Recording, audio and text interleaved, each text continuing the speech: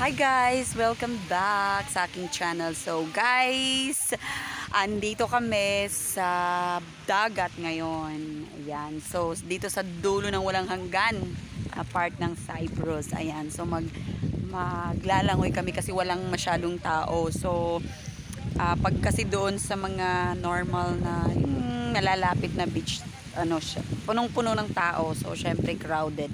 So dito kami sa may medyo malayo-layo na yan. So ayun. Wow.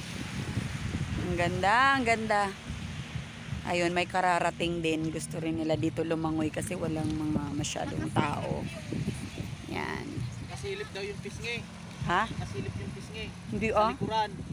Ha? Grabe ka?